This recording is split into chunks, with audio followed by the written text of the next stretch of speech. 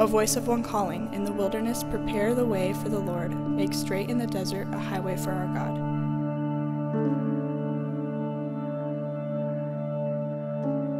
He tends his flock like a shepherd. He gathers the lambs in his arms and carries them close to his heart. He gently leads those that have young.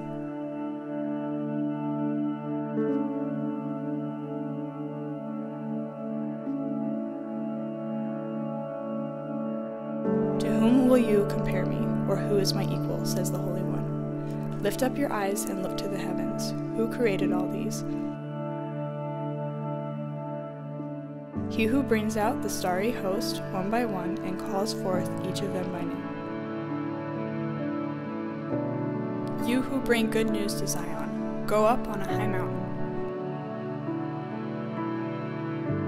You who bring good news to Jerusalem, lift up your voice with a shout.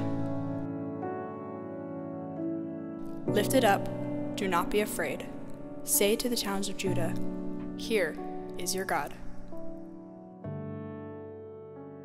Well, it's good to have you here on such a warm morning. Uh, amazing. As of two weeks ago, it's four times warmer today than it was two weeks ago Friday when it was nine degrees. So that's fantastic. Uh, glad to have you here in the room. Those of you online, thanks for worshiping with us today. Those of you at our Skagit campus, as always, glad to have you with us. We are today in the very middle of our 21 days of prayer and fasting. Some would call this hump day. This is the middle day of our 21 days. And for those of you who are participating, we've been praying for you in your experience as you seek God, as you say no to some things so you can say yes to divine things. And I just want to encourage you. Some of you may have put out a plan a couple of weeks ago and you've kind of messed up, you've blown it, you're like, well, I tried, but there's always next year. Let me just say, I've put together a plan for my three, uh, three weeks, and there are some things where I haven't bat a thousand.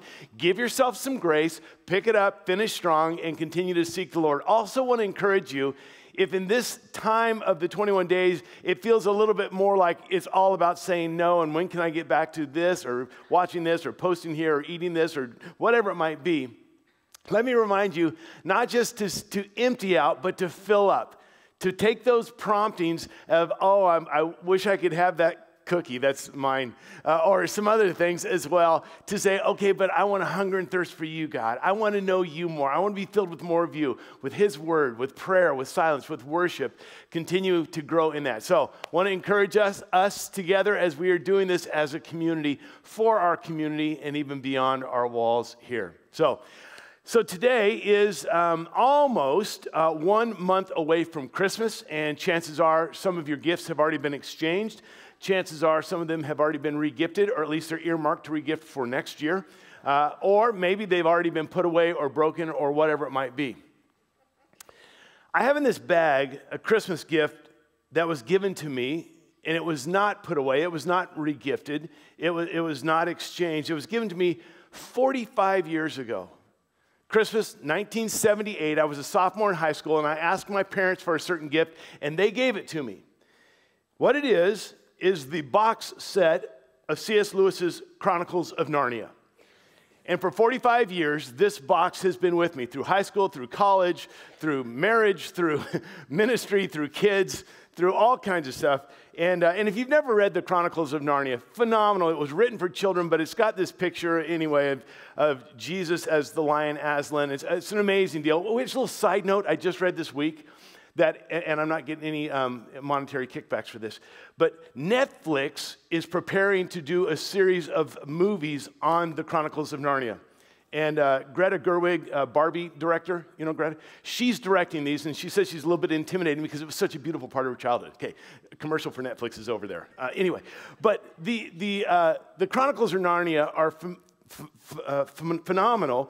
And um, again, if you've not read them, it's not a spoiler alert. There's this analogy in that this lion, Aslan, is the Jesus figure in this, and it's just beautiful the way it's done. In the second book, and there's debate on which order you should read these, but in the second book that was published, it was Prince Caspian. And in Prince Caspian, the children, uh, Edmund and, and Peter and Susan and, and Lucy, have found themselves back in Narnia again. And in the course of this, uh, they find this little uh, beloved little elf or dwarf that, that's helping them out. Anyway, Lucy thinks that she sees Aslan, but none of the other kids see him, and they're not really sure if they should believe her. And then one night, she is woken from her sleep with this familiar voice, this calling, this drawing her away. And when she leaves the other children and she goes, she actually finds, finds Aslan. Now, there's no good church service without a little bit of a story time. So, this is story time from Prince Caspian, page 136 in my book that originally was $1.75. So, she sees Aslan and says, Aslan, Aslan, dear Aslan, at last. She gazed up into the large, wise face. Welcome, child, he said. Aslan, said Lucy, you're bigger. That is because you are older, little one, he said. Not because you are, I am not. But every year you grow, you will find me bigger. Every year you grow, you will find me bigger. Story time over. That's my prayer for us. That every year that we grow, not just age, not, but every year we grow in maturity, every year we grow more in our knowledge, our understanding of God, we will find Him bigger. That we will see that there is more to God than we ever imagined before. And not in just some fanciful fairy tales that we're trying to exaggerate God. No, as we look into the truth of His Word, where He has revealed Himself, we will see in greater capacity who this God is. When we look at the majestic world that He's created, the heavens that declare His glory, we're going to talk about that more next week. When we look at that, that we will continue to grow in our understanding, our wonder, our worship, and our awe of how big God is. As His Spirit brings revelation to us in our lives, in our personal lives, as He directs us, as He guides us, as we walk in experience of God's faithfulness, that every year that we grow older, He will get bigger because we have grown more in that knowledge. It is absolutely impossible to exaggerate God. It's impossible. Because even the greatest mind in here, and it's not mine, but even the greatest mind that's here today, there is no way that that mind can fully comprehend the greatness of God, can fully plumb, plumb the depths of God, can, can fully fathom the reaches of God. It's simply not possible. I love in Romans chapter 11 when Paul's writing all this deep theology, and then he stops like in the middle of it, chapter 11, and there's this little paragraph, this doxology, and he says, Oh, oh, the depth of the riches of the wisdom and knowledge of God. How unsearchable his judgments and his pathways beyond searching out, beyond tracing out. It's beyond our capacity. We will never, ever get to the end of God's greatness and His goodness. Years ago, J.B. Phillips wrote a little book entitled, Your God is Too Small. Because the natural tendency of humanity is to shrink God down, is to diminish his greatness, is to, to have it. Now, this isn't new for us. This is the way it's been for all of human history. And that was the case with Israel because of their life circumstances, because of the situations that were going on, because of the hardships they had faced, the difficulties of life, because of the oppression they had had from other nations and leaders, world powers, because of what had happened to them nationally, because of their morale. They had either shrunk God down or they had had his greatness overshadowed by all of the circumstances of life. And Isaiah comes along and he wants to remind them of how great God is. He, Isaiah comes along with this, this J.B. Phillips moment when he says, Your God is too small. At least your perception of him is way too narrow. And so we see, in, as we've looked at the, the, the series verse out of Isaiah chapter 40, verse 9, where Isaiah writes this You who bring good tidings to Zion, go up on a high mountain. You who bring good tidings to Jerusalem, lift up your voice with a shout. Lift it up. Do not be afraid. Say to the towns of Judah, Here is your God. Behold your God. And he wants them to see that your God is so much bigger, so much greater, so much more majestic than you ever even imagined or believed. And that's what we see throughout Isaiah chapter 40. Years ago, there was a movie that came out, and this isn't a blanket endorsement of this movie. It didn't do well, like as far as any kind of awards are concerned, but it really hit big with pubescent boys and youth pastors. I loved this movie. Uh, it was called Dumb and Dumber. and I think that in Isaiah chapter 40, Isaiah comes along and he says, Your God is big and bigger. Like, just when I don't think you can get any bigger, you go and totally reveal yourself. You show me more. You're great and you're greater. You're mighty and mightier. You're magnificent and magnificenter. You're just bigger. He just pours this out. So, we're devoting four or five weeks into pouring ourselves into this passage in Isaiah chapter 40, what some would consider one of the greatest chapters in all of Scripture, the high water mark of the Old Testament. And there is so much to this. And what we're going to see is again Isaiah just peeling back the curtain, peeling back the layers, saying God is even greater. Now, today, we're really only going to look at two verses. And, uh, and, and, I, and, we're going to look at them kind of phrase by phrase. We're just going to kind of walk through these things. And I'll, I'll, try to make this sermon a little shorter than it could be. And, uh, and I will say this uh, because last week we basically looked at five verses. Next week we will really pick up the pace because if you've read Isaiah 40, and if you haven't, I want to encourage you to, you'll know that, man, we're never going to get through this if he doesn't pick up the pace. Next week we get going a little bit faster. So today we're going to look at two primary verses. Let me read them in the context of the verse of our series, starting in chapter uh, 40, verse 9 through verse 11. Let me read this straight through. You who bring good tidings to Zion, go up on a high mountain you who bring good tidings to Jerusalem, lift up your voice with a shout, lift it up, do not be afraid. Say to the towns of Judah, Here is your God. See, the sovereign Lord comes with power, his arm rules for him. See, his reward is with him, and his recompense accompanies him. He tends his flock like a shepherd. He gathers the lambs in his arms, he carries them close to his heart, and gently leads those that have young. Now, we looked at verse 9 last week. We looked briefly at the end of verse 10, so I'm going to skip that one. Uh, we looked at that last week. But let's jump right in and let's just go phrase by phrase as he says, I want you to look and see. I want you to behold your God. Verse 10 starts off in this translation, see. Others translations again say, behold. See, the sovereign Lord comes with power. Right at the very beginning, he says, I, I want you to remember who your God is. And he starts off and he says, He is the sovereign Lord. He is the Lord God. He's above all things. He is beyond all things. He is over all things. He is in control of all things. Remember, we're looking at your God. All the other nations had their deities, but I want you to look at your God. And your God is different than all of the other ones, that the idols and all these pagan gods that they're worshiping. Your God is the sovereign God. He is over it all. Now, they knew they knew from the Old Testament, from the Torah, from the scriptures about their God.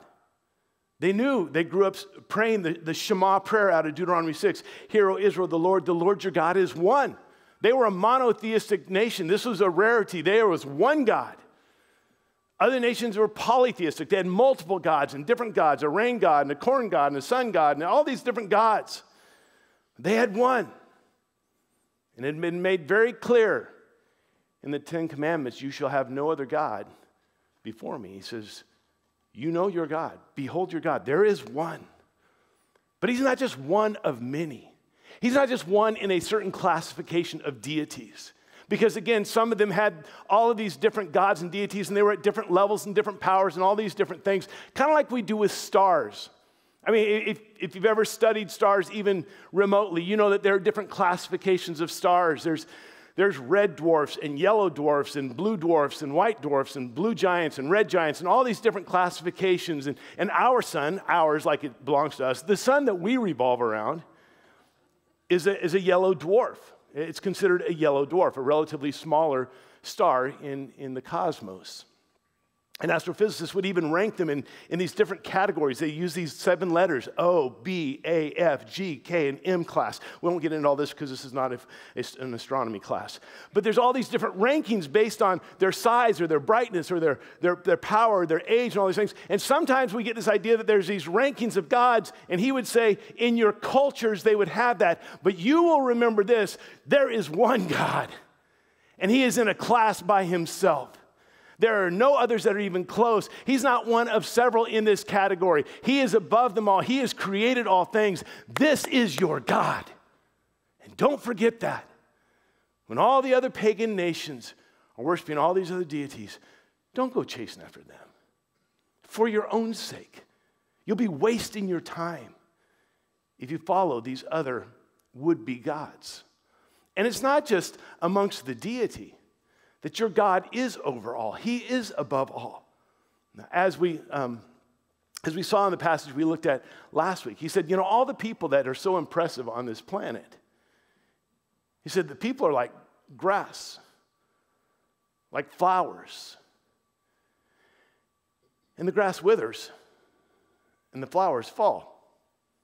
Like they don't last. But your God does. And all the nations, I mean, they, they were intimidated by these nations. To the south, there was Egypt. To the north, there was Assyria. To the east, there was Persia and Babylon. These nations, these world powers that all fight to control the globe, uh, the world as they know it. And he says, uh, later, we'll look at this next week, he says, all the nations are like, like a drop from a bucket. Th- that's it. Oh, they look big in your eyes, but to me, they're hardly anything. And all the princes and all the rulers and all of these guys that are in so much power. I mean, there were the pharaohs of Egypt, and they had history with these guys. There were the kings of Assyria, the leaders of Assyria, and I just love saying their names. There was Tiglath-Pileser and Sennacherib, names that most people don't name their children after. I want to give my child a good biblical name. All right, go with Sennacherib. That's a good one. Tiglath-Pileser. And there in, in the east, there was Nebuchadnezzar and Cyrus and Xerxes and Artaxerxes. And he says, all the princes and all the leaders of this world, they are nothing to me. Your God is the sovereign Lord above all things. And the sovereign Lord, he says, he comes with power. We already saw this last week. When God is coming for something that He wants, He is unstoppable. There is nothing that can stand in the way. Like He will, He will take the valleys and He will fill them in. He will take the mountains and the barriers and He will flatten them out. He will take the rough spots and He will, he will level it out. There's nothing. He's coming with power. He's coming for you. And I think about when that, that coming with power, I think about that scene from, I think it was the original Jurassic Park, when the T Rex is coming and you hear this low thud, and then the little water glass on the dashboard just starts rippling. He's coming with power, and there's nothing going to stop him. But Our God comes with power. And he shows how much power he has. In that part where he says that the grass withers and the flower falls, and all the people are like grass, he says, You know why they wither and fall? Because I breathe on them. This is not divine halitosis. What he's saying is, I have so much power that when you bring the greatest that you have to offer, and it comes until the battle, I says, I just go, and it's done. That's your God, this powerful one. And not only that, it goes on, it says, and his arm rules for him. Now, let me just go down one little rabbit trail on this one because I referenced this last week, but I want to come back to that. His arm rules with power. There's a fancy six syllable word called um, anthropomorphism. Anthropomorphism is when you take human attributes or human characteristics and put them on something that is non human. I'll give you an example. Disney does this all the time. If you saw the movie Cars, that you have a tow truck, Tow Mater. It's a tow truck, but takes on the characteristics of Larry the Cable Guy.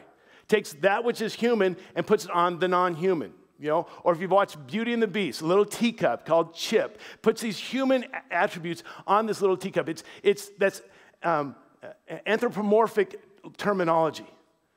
Uh, we use it even like the long arm of the law.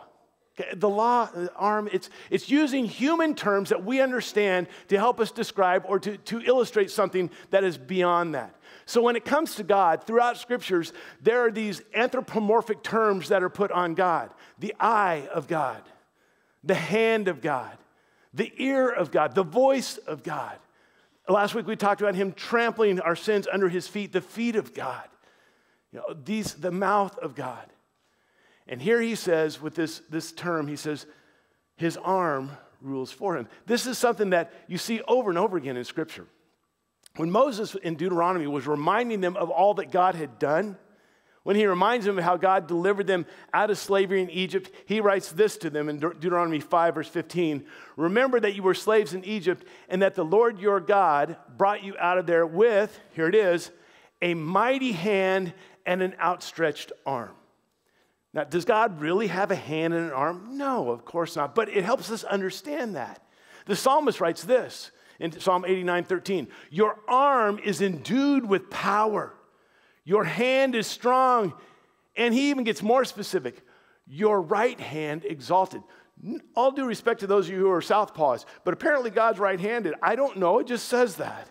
Or the time when Job is questioning God and, and asking God, explain yourself, why is all this? And God gets to the point where he says, Are you done yet? Okay, brace yourself like a man. I'm going to ask you a few questions. And he does. One of the questions is this Job chapter 40, verse 9. Do you have an arm like God's? And can your voice thunder like his? So we see this picture of God's arm that rules for him. And Isaiah uses this, the arm of God. He uses this over and over again in his book. If we were going to look at the whole book of Isaiah, which would probably take a decade at the rate I'm going, he uses this over and over again, this arm of God. God's arm represents his strength. And what I love is this little subtlety, and it may not be so in the, in the Hebrew, but at least in the English translations. It says, his arm rules for him. Arm, singular. Like God can rule the universe with one arm tied behind his back. He doesn't even need both of them. He's that great. Behold your God. Know, I grew up um, in church singing hymns. I, I, do this frequently, and for some of you, you love it because it takes you back to our childhood. There was a, a hymn that we sang all the time. In the third verse, we'll have the ladies sing it and then the men join on the refrain. That's, for those who didn't grow up in church, that means nothing to you. The third verse says this What have I to dread? What have I to fear? Leaning on the everlasting arm. I have blessed peace with my Lord so near, leaning on the everlasting arm leaning, leaning, safe and secure from all alarms, leaning on the everlasting arms. Behold your God. Now, it's an interesting thing because you get there and you see this greatness of God, and as, as we'll go into next week, he just continues to expound on that, just making it bigger and bigger and bigger. But then you get to verse 11. And verse 11 is like this outlier verse. Verse 11, by the way, is a part of Handel's Messiah. At the end of, at the end of, of, of part one, it's, it's a duet with a mezzo soprano and a soprano, just in case you were wondering. But verse 11 seems so oddly out of place if you read it in the context even of these verses. It's like it, stands out. It's like one of these things is not like the others. It's like, what is this doing here? It seems odd. It, it seems like, was this a mistake? And then as you begin to study it, you begin to realize maybe this wasn't a mistake at all. Maybe it, it is very strategic as he juxtaposes this weird outlier, verse 11, amidst all these great other verses. Because maybe, just maybe, God knows that while Israel needs to understand how great and powerful and amazing, majestic that God is, and, and He will continue to show that, that maybe it's what they really need is not just a display of power, but an expression of compassion. They, that yes, they need to know about how great He is, but also to show His greatness not in His brute force and strength and size, but greatness another way and they had seen power and they'd experienced power. They'd known the power from the surrounding nations. And behold your God. But maybe what they needed to hear was, Behold your God. Because he talks about this sovereign Lord who rules with his arm. And then the very next verse, verse 11, he says this He tends his flock like a shepherd. The contrast, the dramatic, you know, just complete opposite of this God who rules, and now he tends his flock like a shepherd. I love that little phrase, his flock. This goes back to verse 1 we looked at last week when he says, Comfort my people, says your God. This is my flock, he says. I will tend my flock. I will care for my flock. These aren't just people. This isn't just another nation. These are my, my people, my flock. He says he will tend them. I don't know if in high school you ever had to read or were supposed to read or had the opportunity to read a book by John Steinbeck called Of Mice and Men. Um, it's, a, it's a kind of a troubling book, but story about George and Lennie in the Depression, and, and George is kind of watching out for Lennie. Lennie's a big man, powerful man, uh, a bit limited in his abilities, but George and Lennie have this dream that someday they will own a piece of property of their own, and they'll live off the fat of the land. And Lennie, Lennie has this dream of what his part will be that he will tend the rabbits because this powerful man loves these soft little bunnies. The only problem is he's so powerful, he doesn't know his own strength. And when he pets the little bunnies, he pets them too hard and he accidentally kills them. I, I know, dark, I know. But when you see this contrast of God being all powerful, ruling with his arm, and he tends his flock, you think, is he like Lennie? Don't, don't tend me too hard, God. He tends them like a shepherd. Takes us back to Psalm 23 the Lord is my shepherd. He tends the sheep, He leads them along still waters, gives them water and refreshment, green pastures to rest and to nourish. He walks with them and protects them in the presence of their enemies. He anoints their head with oil and brings healing. His goodness and his mercy follows them. He tends tenderly his flock. What a contrast to this God who rules with his arm. And not only that, but he goes on and says, and he gathers the lambs in his arms and carries them. The lambs, the, the young ones, the most vulnerable, the weak, those that are defenseless he gathers them in his arms. Now, again, I'm not a Hebrew scholar, and those of you who want to go deeper in this, you can tell me if I'm right or wrong because it may not play out this way. But I find this interesting if this is the case. In the, in the English translation, he rules the world with an arm,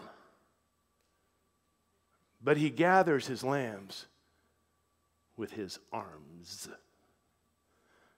As far as the world, he can take care of that with one arm. But when it comes to what's most valuable, most precious to him, what is most near and dear to him, he's going to use both arms.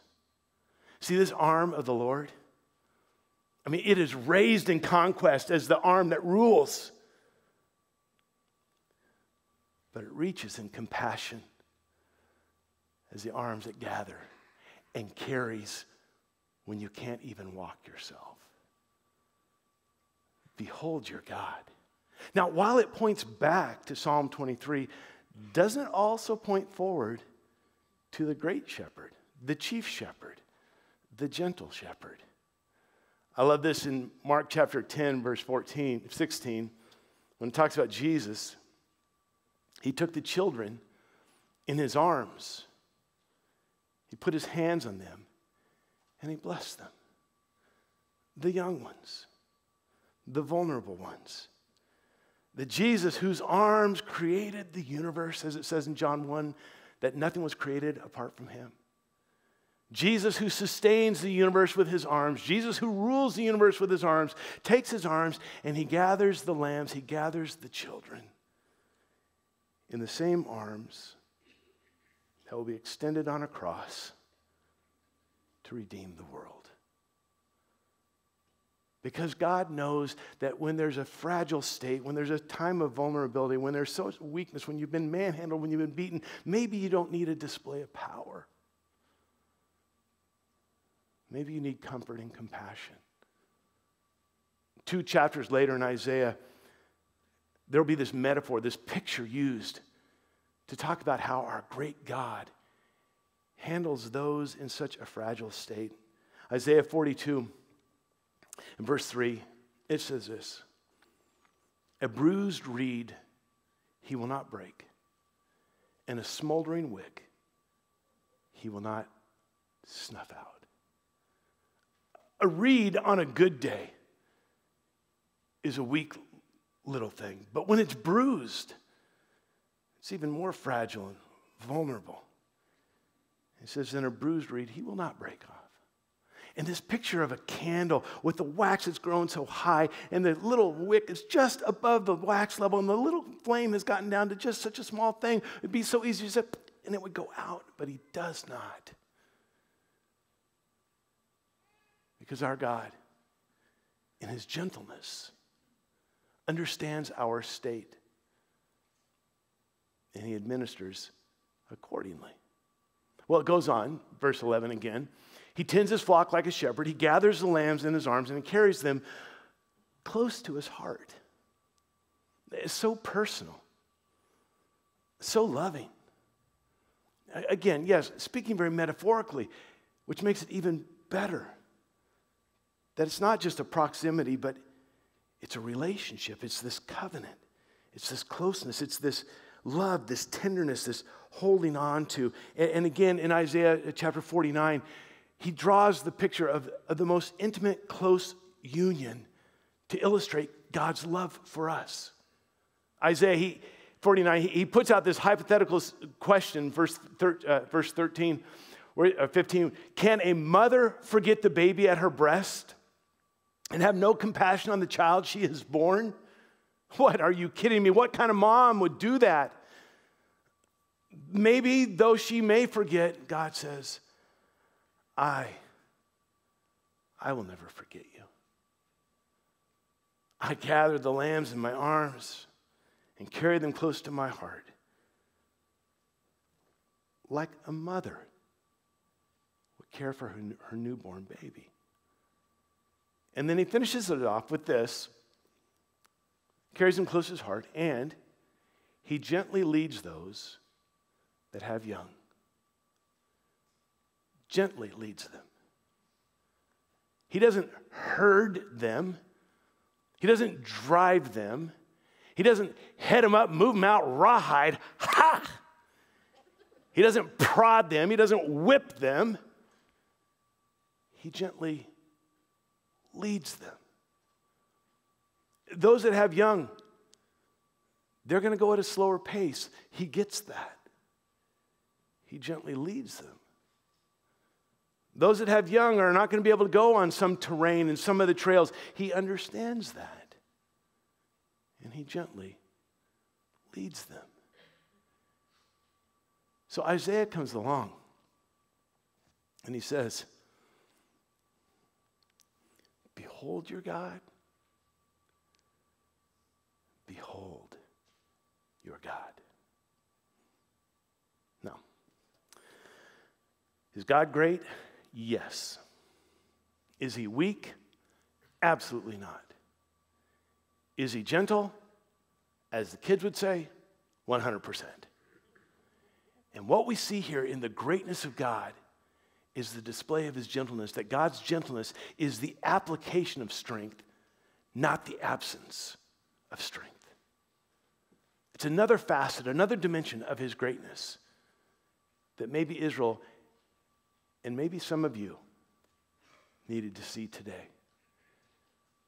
Because some of you may feel like a bruised reed from whatever you're going through in your life right now. Some of you may feel like a smoldering wick, barely hanging on, not even sure if you could make it in here today. Behold your God. I want to tell you a story that, from my own life, kind of helps me think of this in my terms of growing up. My dad, I talk about my dad a lot, wasn't perfect, but man, he was a great, great dad. Great dad. And as most, I would suppose, little kids think of their dad as he was, you know, growing up, he was bigger than life. I mean, he was big, just physically, way bigger than me. I was a little kid. Not only that, but he is always my pastor, a powerful preacher, amazing preacher. Some of you years ago, before he died, he preached here. Just a powerful preacher. He was a pastor, very influential in my life that way. But, but not only that, I mean, Like he, he could fix things. He could do things. He was strong. When I looked at when I looked at his arm as a little kid, I thought, wow, look at that muscle. I mean, he could take the lid off the pickle jar when no one else could. He could undo knots that no one else could. He knew things that no one else, how does he know these things? He could fix things. He, he was bigger than life to me. He was a great dad. Great in goodness, great in magnitude, great in all of these things. As I grew older, in my senior year, I hit a kind of a growth spurt, and there were some things that were changing. I was going from being a little boy to a young man. And there were some appropriate levels of releasing that my parents did to try and launch me and giving me greater independence when there was responsibility, all of these things. And I grew, and I, and I grew actually, I kept growing. I was the tallest one in the whole family. Physically, dad wasn't larger than life anymore. I was beginning to tower over him and would continue to do so. On top of that, I was becoming not just a little boy, my voice had started changing. I was shaving with a razor this time, not just scraping off the shaving cream like I did for so many years. Once a week. Every Saturday night, I shaved. Took care of it for a while. I had a job, I bought my own car, I was having more independence. And in some ways, I thought I knew way more than my dad ever could know. And I had this job this was uh, 1980, 81, May of 1980, Mount St. Helens blew. Weyerhaeuser lost millions and millions and millions of board feet of timber, blown down by the, by the volcano and covered with ash. And a man in Vancouver got a contract with Weyerhaeuser that he would take these logs that they were not going to use and sell them for firewood. And he hired me, and every day after school, I got out early, it was my senior year. I would drive up the Toutle River Valley uh, from, from Portland, Vancouver area, and work there. And then on the way home, I would take a load of logs down to Vancouver that he had sold to someone as firewood. They weren't cut up, they were just long logs. And, and I would drive these trucks. It wasn't like a semi truck, not a logging truck, but it was much bigger than a pickup truck. It was a mid, mid-sized truck, probably, I don't know, 26, 30 feet long, I'm not sure, but with, with this flatbed and side rails and this dump trailer. And, and I would drive this home, and they would load on these logs and put a, a choker around it, and away I went. So one day I was driving down the, the Toutle River Valley, down this, this highway, this state route, and there was a vehicle coming toward me. And so just wanted to give it a little more room, just ease to the right a little bit. I'm 17 years old.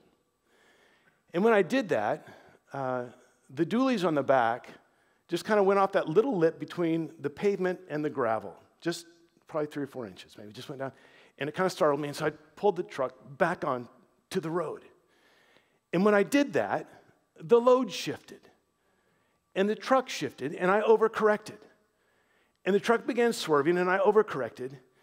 And this was 1980, 81, five or six years before the mandatory seatbelt law, so I did not have a seatbelt on. And this truck turned sideways and flipped up onto the passenger side and began to slide down this highway. And I released the steering wheel, and this is only by the grace of God, turned and caught myself on both sides of the passenger window. The window had been shattered, the mirror was smashed there, and the road was going by, and caught myself there until the truck came to a stop on its side on this highway. Well, I rolled down the window and pulled myself out and tried to flag down the first car that came, and they called, and I went into absolute shock. There's parts of that next part of the story I do not remember. But I was injury free but in complete shock. Well, the state patrol eventually came, and the tow truck came, and the state patrol uh, called my parents and said, um, Why don't you meet us at the state patrol office, either Kelso or Kalama, I can't remember which. And so they took me there, and, and I just sat in the waiting room waiting for my parents. And my parents walked in, and they said that when they saw me, I was obviously in shock, and I was white as a sheet. And I looked up at my dad. And at that moment, I did not need a sermon from the greatest preacher I had ever known. I didn't need a tutorial from the one who always knew an answer. I didn't need this powerful provider. I didn't need him to fix anything. I needed him to gather me in his arms and hold me close to his heart and gently lead me home. And that's what he did. That day, my dad was a giant. Not because of physical stature, not because of what he could do, but because he gathered me in his arms. He tended me like a sheep. He cared for me like a father. And I wonder when Isaiah writes this, if he thinks maybe, maybe there's some in Israel that don't need a display of power. They need an expression of compassion. And maybe there's some of you here today. That's what you need. Well, here is your God. I love this verse in Zephaniah that brings together this greatness of God and the tenderness of God. Zephaniah chapter 3, verse 17. The Lord, your God, is with you. Oh, he is mighty to save. He will take great delight in you. He will quiet you with his love and he will rejoice over you with singing. Behold your God. Can I say this? For each one of us, the truth is this the arm that rules the world is the arm that holds my life. The arm that gathers you in, carries you when you can no longer walk, holds you close to his heart, and gently leads you. What have I to dread? What have I to fear? Leaning on the everlasting arms. I have blessed peace with my Lord so near, leaning on the everlasting arms, safe and secure from all alarm, leaning on the everlasting arms. The gentleness of our God. One more verse. Psalm 18, verse 35 says this You have given me the shield of your salvation. In your right hand, there's that anthropomorphic terminology again. Your right hand supported me. And your gentleness. The great God, your gentleness made me great. I just want to say, we're going to close with a song here in a second, that today, maybe you're in that state where it's like, that's what I needed to hear. And if today you could just use some prayer uh, online, you can click the prayer button. Here in the room, following our service, I and others will be here in the front, would love to just pray with you. But to behold, your God. Great and gentle.